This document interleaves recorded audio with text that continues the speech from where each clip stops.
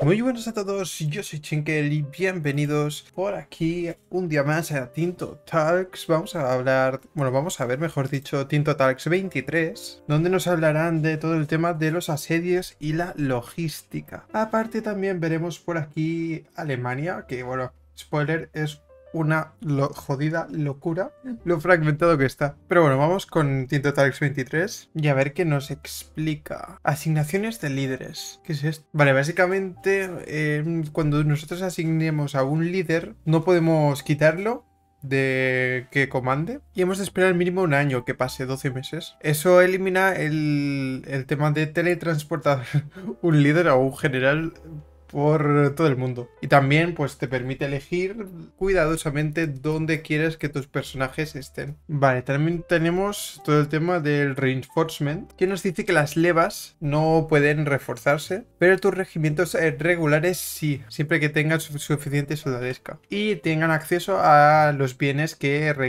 que ellos requieren. Un regimiento que es eh, parte de un ejército que está huyendo básicamente, o está en combate, o está en un barco, estará tomando desgaste, pérdidas por desgaste básicamente. Y estas pérdidas por desgaste no podrán ser reforzadas, no podrán tener los refuerzos. Un regimiento solo se puede hacer el reinforcement cuando eh, estés en una localización que sea propiedad tuya o una localización que sea propiedad de tu aliado. Todo esto que no esté ocupada por el enemigo. Así que no puedes reforzar aunque tengas ocupado una localización enemiga, pues ahí no podrás reforzar. Así que grandes extensiones de territorio a jugar al desgaste puede ser interesante. Y también pues da más valor a los enclaves que puedas tener por ahí. Aquí podemos ver los refuerzos que tienen 84 y el máximo es bien y cada mes pues se irá incorporando 5 más. Y después tenemos la velocidad de refuerzos, que si tienen accesos a bienes el, multiplicativo es por 1 y la base es un 5%, así que tienes el 5% total. Si no tuvieras acceso a ningún tipo de bien, sería esto multiplicado por 0, así que no podrías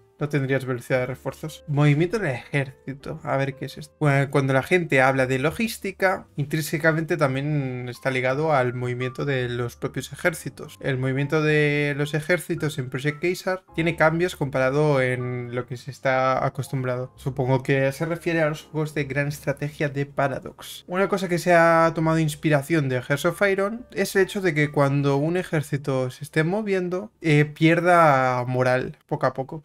Eso es organización, creo que se llama en Hearts of Iron. Esto permite crear un, flujo natural de ejércitos que, se van moviendo y van descansando. Y no solo te patees de Europa de punta a punta, básicamente, para llegar a una batalla. Esto también le meterá un factor más al tema estratégico y tener ejércitos donde tocan en cada momento y planear de antemano. Esto para representar esto, ya que básicamente las marchas de todos los ejércitos pasan facturas, sí o sí. Otra cosa que han metido es que si hay un ejército muy muy grande, pues eh, se verá más limitado en la velocidad de movimiento. Como más grande o, si pasa de cierto tamaño, cada vez irá marchando más lentamente. El tamaño está basado en el frontage total, eso que vimos en el anterior Team Total, del tema de los ejércitos. Así que básicamente si juntamos mucho las unidades puede hacer que vayan más lentas el conjunto. Esto también para penalizar sobre todo al inicio de la partida porque al final la organización militar en 1337 no es nada comparado a por ejemplo la era de las revoluciones. Y cuando vayas avanzando por edades tendrás los avances que van reduciendo esta penalización significativamente y en la era de las revoluciones es casi imperceptible. Una cosa interesante que han metido es que hay algún avance que lo que hace es que automáticamente los ejércitos que estén cerca de unos de los otros reaccionen automáticamente. Si uno de ellos con una localización adyacente entra en combate, pues marchará a la batalla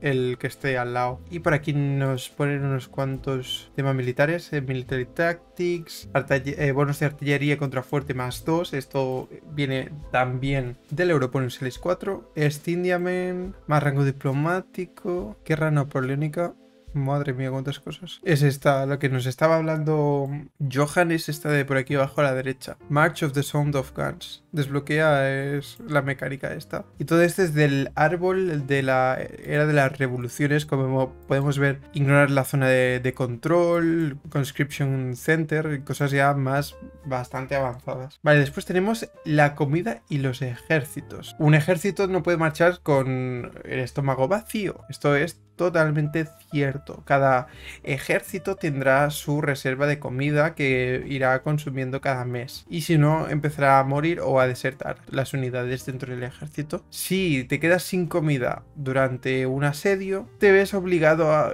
bueno, forzado a abandonar el asedio, ya que tu ejército se evapora. Un regimiento de infantería estándar puede usualmente llevar varios meses de raciones con ellos. Pero cuando se esfuman, pues estás, ahí vendidísimo. Y aquí entra la nueva categoría de unidades. Una de las eh, más importantes de la categoría de auxiliar son las unidades de logística, que pueden llevar mucho más comida que cualquier otra unidad. Y aquí podemos ver lo que se requiere para construirlo. En este caso es camp followers, el requisito de mantenimiento y todas las características. Lo que es más importante es el food storage. Tienen 6, que es muy superior a cualquier otra cosa. Y tienen solo una food consumption de 0,10. Es básicamente para que no te quedes sin comida. Si estás estacionado en tus propias localizaciones, empezarán a, tomar comida de la, los supply de la propia provincia local. Así que a veces tienes que ser cuidadoso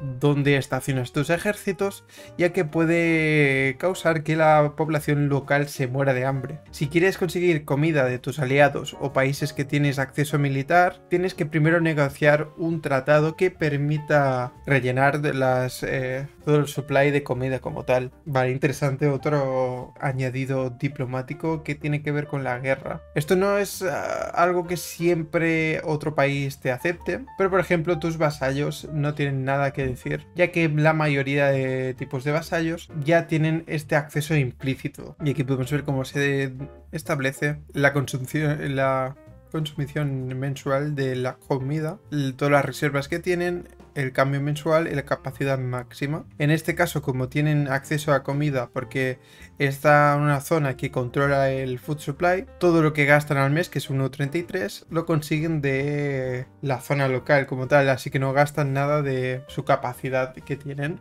Pero bueno, aquí es interesante que ya te indica arriba de todo cuántos meses puedes aguantar de capacidad de comida. El suministro de alimentos también puede ser obtenido cuando estás en guerra robando de las provincias ocupadas de tu enemigo. Eso si controlas la capital de la provincia puedes básicamente robar toda la comida de la población local y darle a tus ejércitos. Si tus ejércitos están en una localización hostil donde no puedes eh, conseguir comida local, puedes intentar trazar acceso de dos localizaciones alejadas a través de localizaciones controladas para intentar conseguir comida. Básicamente si en dos localizaciones a una tuya, puedes conseguir comida de, ahí. Si no es el caso, hay dos otras formas de conseguir comida para los ejércitos. La primera es un depósito de suministros, que esto también ya lo tuvimos con el Cradle of Civilization en el Europa Universalis 4. Con el mismo, eh, si tenemos un supply depot de estos, un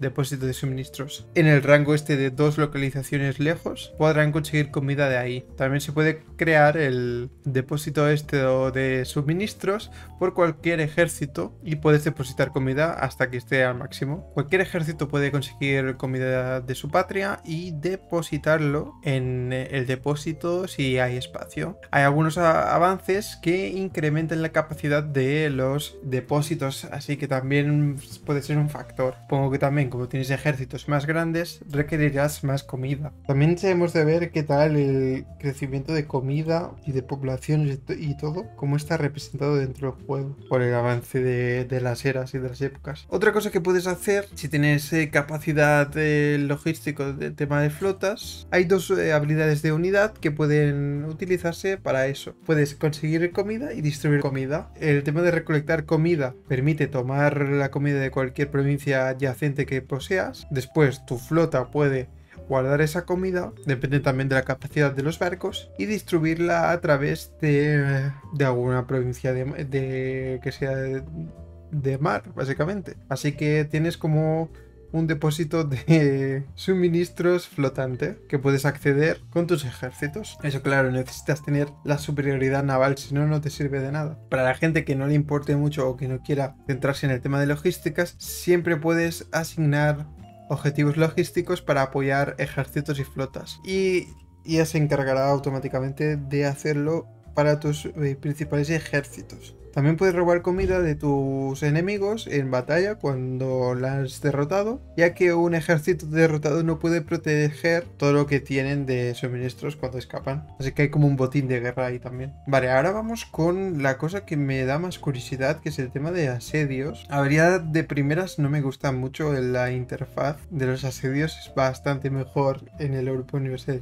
5. No sé si nos comenta algo de eso, pero como muy, no sé, raro, ¿no? Que todos las interfaces sean exactamente las mismas y que no haya nada de dibujitos ni nada, no sé, raro. Nos comenta Johan que ahora vamos a la segunda parte de este Tintotal, donde hablaremos de cómo funcionan los asedios. Primero de todo hay dos tipos diferentes para hablar, ya que no todas las localizaciones son iguales. Las localizaciones sin fortificaciones no tendrán un largo asedio, ya que bueno, un ejército con un regimiento a tope de fuerza que tenga todas las eh, unidades serán suficiente para tomarlo en unas cuantas semanas. Eh, una localización con algún tipo de fortificación requerirá un asedio completo. Y aquí podemos ver el asedio en plot. Tenemos las fases de asedio, que la base son 30 días. Después, esto por aquí, offensive, nos resta menos 35%. El mantenimiento del fuerte, supongo que si no lo tuvieran totalmente mantenido, esto también, o puede que no lo tenga totalmente mantenido. Si lo tienen más mantenido, puede que sea como defensividad extra. Eso no lo sabemos. Después también influye la tradición del ejército. Esto creo que es un valor de sociedad que puede ser ofensivo o defensivo, porque lo encontramos dos veces, puede que sea de las dos naciones, del atacante y del defensor. Aquí nos comenté, tener un valor de sociedad ofensivo cuando estás intentando defenderte de un asedio no es lo mejor, ya que le penaliza bastante. La comida también tiene un impacto bastante significativo de cómo planteas tus campañas militares, ya que también afecta cuánto tiempo puedes sostener un asedio. Lo más clave, y nos comenta que Johan que es algo que le encanta, es que los asedios es una apuesta, puedes perder o puedes ganar. Básicamente tú no sabes cuándo cae un fuerte o cuándo caerá el fuerte, pero ahora sabes de facto cuándo tiempo te queda hasta que te acabes sin comida. La base es que cada 30 días hay una posibilidad de que algo ocurra en el asedio. Hay posibilidades de que se ponga peor para los, para los que están defendiendo o que aguanten otro mes. Y así vas haciendo. Estos son los outcomes y las posibilidades que tienen todo esto en base a los dados como el Europa Universalis 4 y es bastante similar a lo que tenemos al Europa Universalis 4. Si sacas un 20 se rinden directamente. Después tenemos eh, desertores de los defensores que se piran, no le queda comida, no le queda agua, suministros, un status quo y que haya alguna enfermedad. Con estos cambios el asalto es ahora una opción potencialmente más viable porque básicamente o ganas y consigues tiempo y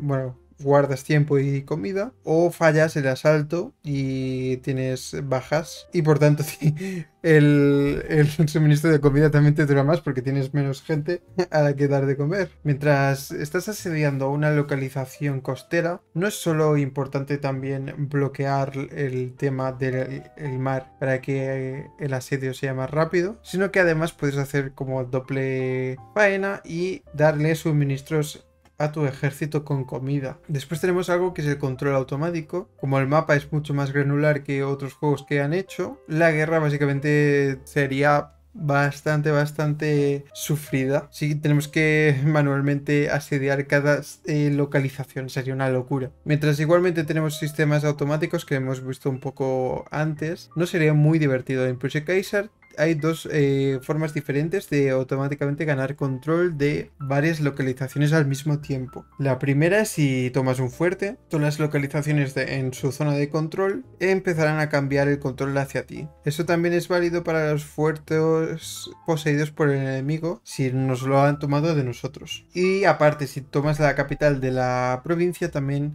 empezarás a ganar el control de todas las localizaciones en esa provincia. Pero esto está bloqueado por ejércitos enemigos y fuertes. Por mucho que tomes la capital de una provincia, si hay fuertes aún por ahí, no podrás hacerlo. Después hay la zona de control, que es el sistema este de los fuertes, que hay un avance en la era de las revoluciones que te permite ignorarlo para perseguir ejércitos o lo que sea. Siempre quieres eh, asegurarte de capturar las fortalezas y capturar cada uno de los lugares para el tema de las logísticas simplemente. Después hay opciones de reclutamiento. Una cosa que nos han mencionado todavía en el tema militar es que hay diferentes eh, métodos de reclutamiento para los regimientos básicamente el entrenamiento que se requiere. Puedes entrenarlos muy muy rápido para que tengas un regimiento listo mucho más rápido, pero con menos fuerza, o puedes gastarte más tiempo en entrenarlo y empezarán con más experiencia.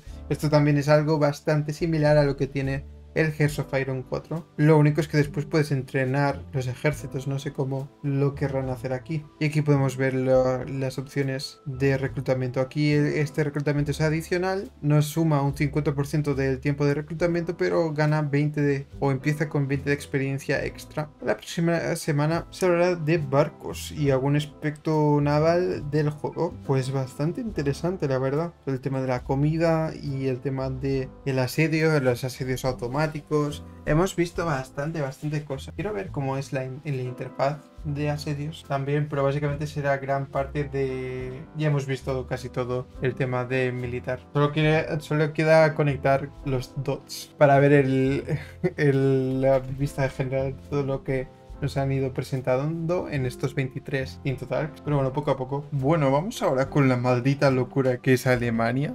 No tiene ningún tipo de sentido esto, ¿eh? ¿Qué es esto? Madre mía. Nos habla Pavia y hoy veremos no solo Alemania, sino también la zona de Chequia, Austria, Suiza y Liechtenstein. O lo que también es conocido por esa época, el Sacro Imperio Romano. Esta organización fue una vez un imperio feudal, pero para 1337 básicamente era un puñado de territorios feudales que tenían cierta relación con el emperador, también jurisdicciones eclesiásticas, bueno, arzobispados. Esto es un Cristo que me, duele la cabeza solo de verlo esto. ¿eh? Um, aquí muestra un poco más de lo que es la región para que puedan tener una visión clara de cómo se ve en comparación con las regiones vecinas que hemos mostrado anteriormente. Y también nos comenta, y para que el tipo de Reddit que está armando el mapa del mundo tenga un día más fácil.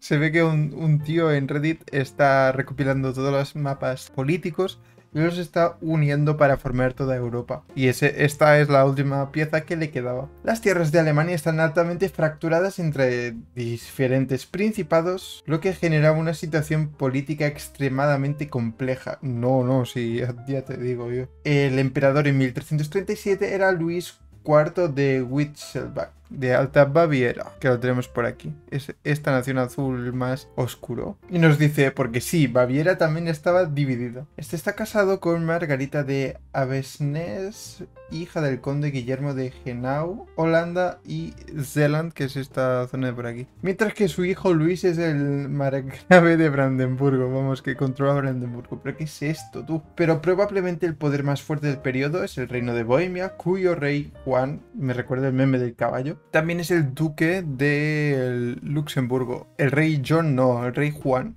Y sale ahí un caballo. Y Luis es el de Brandenburgo. Guillermo, William, Hainaut. Bueno, en fin, que esto es una maraña de dinastías y de... Bueno, aquí se puede ver en, en el dinástico el tema de Luxemburgo y Witzelbach por aquí en Baviera y en Brandenburgo. El tercer continente probablemente sería Austria. Ah, pues también nos comenta que tiene en unión personal todo esto de Moravia y todas estas partes, el reino de Bohemia. Pero bueno, vamos a por Austria. Austria el ducado de Austria está gobernado por Albert II von Habsburg, que también gobierna sobre tierras de Suabia y Carintia. Hay también bastantes países medianos y pequeños por toda la región, con diferentes formas de gobierno, que harán probablemente que, el Sacro Imperio Romano sea una experiencia muy rejugable, ya te digo yo. Madre mía. Las dinastías, lo que hemos comentado. El D de por aquí delante del Luxemburg en vez de Bon Luxemburg es porque nos dice que es de cultura francesa, el John, este de Bohemia. Por eso cambia. Y como por ejemplo Austria es de cultura alemana, tienen el Bonn en delante. Nos comenta también que Witzelbach gobiernan sobre el, todo Baviera, Alta y Baja Baviera, el Palatinado Branden, y también Brandenburgo. Y los de Luxemburgo pues también tienen el arzobispado de Treveris que se están haciendo por aquí, Trier en inglés, está justo al lado de Luxemburgo. Bueno, que básicamente nos comentan que Balduin, que es el tío de John, del rey John de Bohemia, controla Trier, por eso también es de la misma dinastía. Después tenemos los von Wettin y alguno que otro por aquí. En Sajonia, Wolfen, los von que están en, Trier, los de Mecklenburg, por aquí en el norte de Alemania, los Griff en la zona de Pomerania. Pero bueno, hay poquitos realmente muy, muy, muy potentes, sin contar los eh, Luxemburg, Wittelsbach y von Habsburg. En cuanto al Sacro Imperio, se ve tal que así. Cada color es de distintos miembros. Tenemos por aquí en azul más oscuro el emperador, los electores en azul clarito, como es por ejemplo Brandenburgo o Bohemia. Después tenemos los electores que son arzobispados, como es Trier, de este es más morado.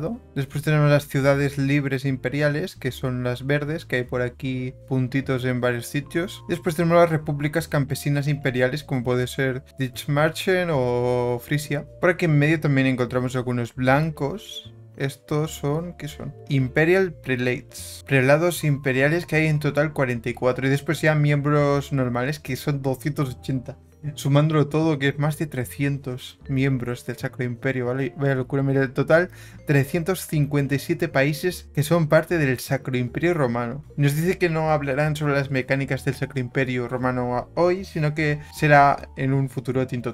Esto es el caos que hay en localizaciones, vaya locura. Me gusta que no estén partidos muy locos, que si realmente quieres representar bien el Sacro Imperio es que es importante posible por, el tema de granularidad y todo, yo creo que es muy muy complicado representarlo correctamente, porque era un Cristo eso que no tenía sentido. ¿eh? Nos comenta que aún así Alemania tiene la, eh, la densidad más alta de localizaciones en todo el mundo, ya que querían representar correctamente la fragmentación histórica del Sacro Imperio Romano a nivel lo más detallado que cualquier otro juego de gran estrategia de Paradox. Hay algunas cosas que y tienen en cuenta que quieren reworkear, como las conexiones de localizaciones, que no están muy claros en algunos sitios, y que quieren hacer que la guerra en el Sacro Imperio no sea imposible. Y quieren hacer que el cambio del Sacro Imperio a las zonas más del este no note tanto cambio brusco, porque Francia sí que tiene ya bastante densidad y Italia también, será un poco más tranquilo, pero la parte de Hungría, Polonia y demás puede que sea un poco sí, más brusco. Y estos son mapas detallados de las localizaciones. Hay algunas muy, muy pequeñas. Pero me gusta que no hayan enclaves, ni exclaves, ni nada de eso, porque si no, si no sería muy loco. Aquí tenemos la provincia, por ejemplo, podemos ver la diferencia de provincias entre la zona de propiamente Bohemia o zona más central de Alemania, que hay varios. Aquí se nota un poco más en la zona de Hungría y demás, en el centro de Alemania. Y tenemos las áreas, que es esa nueva mapa que tiene relación con el tema de la exploración.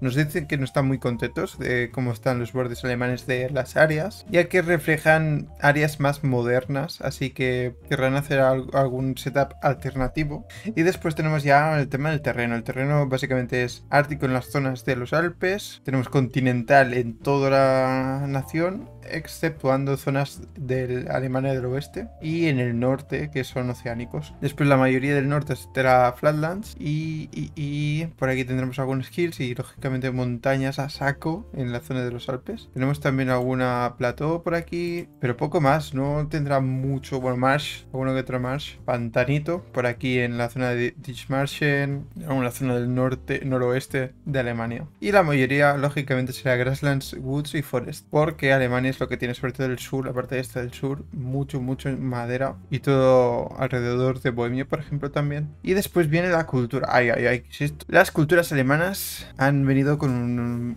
unos cuantos rework hasta llegar a un punto intermedio que estén contentos. Las culturas alemanas están muy relacionadas con el tema lingüístico y decidieron que esto fuera un punto de inicio para 1337. Y aquí podemos ver Swabian, Franconian, Saxon, la Checa, la Moravia, Silesia, Danube Bavarian, interesante. Suzen Bavarian, Eslovenia, Croacia, todo esto nada. Aquí tenemos Romansh, Haig Alemanic, ¿qué es esto? Rhin Alemanic, Moselle Franconian, Lorraine, Rhin Franconian, East Franconian, Angrian, Eastphalian, Brandenburgisch. Yo estas cosas no he visto nunca, ¿eh? Kashubian, West Pomeranian, Colsatian, Frisian.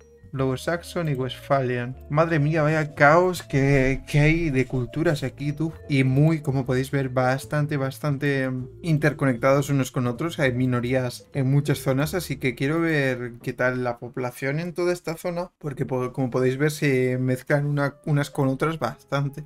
Y bueno, religión es todo católico, básicamente. Hay algunos eh, judíos azkenazi, nos dicen que están presentes en 204 localizaciones por toda Europa del Este y Europa Central y también puede que encontremos Waldesians, que lo añadieron en, la zona italiana, así que puede que en el review que le hagan a Alemania también les metan algunos. Y aquí es todos los materiales. Aquí sí que habrá un poco de todo. Porque Alemania al final, teniendo tantas localizaciones, puedes acceder a un poco de todo. Y el tema de los mercados también va muy relacionado para acceder a todos estos recursos. Tendremos principalmente el de Lübeck en el norte, Bruges por esta zona de, mm, de, Países Bajos y una parte de noroeste de Alemania. Después tenemos Colonia que pilla gran parte del oeste, Praga que pilla todo el este, y en el sur, de los, en la zona de los Alpes y tal, se dividen entre Venecia y Génova. Así que también está bastante relacionado para acceder a todos los recursos el tema de los mercados. Los principales de Alemania como tal nos comentan que son Colonia, Lübeck y Praga. Nos dice que esta configuración hace que haya un buen setup histórico y también en tema de gameplay. Y esto es la población la que más destaca, lógicamente. Son las naciones más grandes que están centralizadas, como puede ser eh, Trier por aquí, 691k, Luxemburgo 311, tenemos por aquí la zona de la República Campesina de Frisia con 295k, Brandenburgo con 938k, tenemos el caso de Austria con 1.145, Bohemia 1.000 477 y también Moravia, por ejemplo, con medio millón. Tenemos la, zona de por aquí de Sajonia con casi medio millón también. Y bueno, es lo que nos comentó también Pavia, que realmente las tres más fuertes serán Bohemia, Austria y Brandenburgo. Y nos comentó ya que la siguiente semana veremos el Magreb, así que a ver qué nos traen. Y nada, esto ha sido todo por este vídeo, espero que os haya gustado. Si es así, dale un like, suscríbete si quieres ver más, déjame en los comentarios qué te ha parecido, puedes unirte a los miembros del canal si quieres apoyarme directamente y sin nada más que decir, nos vemos